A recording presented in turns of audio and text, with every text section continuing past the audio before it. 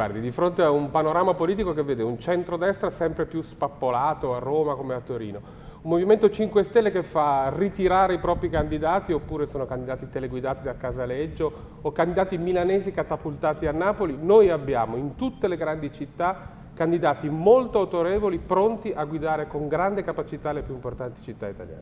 Eh, questa è una visione un po' semplicistica eh, della situazione che si presta molto bene a eh, titoli di giornali e di telegiornali. Eh, direi che eh, semplicemente non si è trovata quell'unità che sicuramente però è fondamentale per vincere e per governare. È un incidente di percorso sicuramente importante che va archiviato, che mi auguro possa essere archiviato se il centrodestra vuole avere l'ambizione di vincere per governare e cambiare questo Paese. Noi siamo stati costretti, noi di Fratelli d'Italia, a cercare di non consegnare Roma alla sinistra o a 5 Stelle. Vi era la differenza di opinioni profonda tra Berlusconi e Salvini su Bertolaso, la Meloni per spirito di sacrificio ha deciso di scendere in campo per ridare speranza di vittoria al centrodestra. Io confido ancora che Berlusconi, che ci ha abituato anche a decisioni dell'ultimo minuto, capisca che tenere insieme la coalizione è un dovere e un obbligo che ogni tanto ritornano. Non so chi sarà stato a consigliarle di scendere, Alemanno, Berlusconi col quale ha governato, la Russa col quale ha fondato un partito. Sono sempre loro, eh. Ma come scelta di mamma? Quella è una scelta personale. Basta con queste domande. Voi siete genitori? Come fate a conciliare il lavoro di genitori col giornalisti? Vi piace questa domanda? Eh, basta con questa domanda. Basta. Uh, bisogna usare al meglio l'interazione e fatemi tra questi pilastri e fatemi fare una battuta su un termine eh, molto di moda, una volta era molto di moda il termine austerità, adesso è molto di moda il termine flessibilità.